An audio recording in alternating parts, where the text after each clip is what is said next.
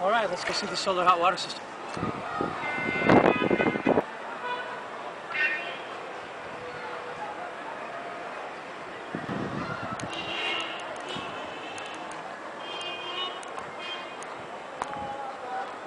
You're saying that you went down Yeah. there.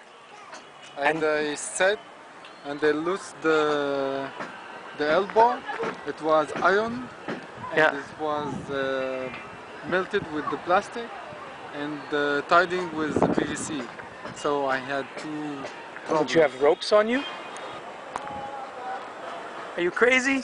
No, I just walk beside this wall and I stand and I try to.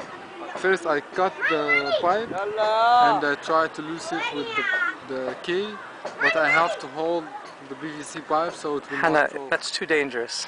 Next time, please don't do that. Spend more money to put a plastic pipe up from downstairs, something, but don't.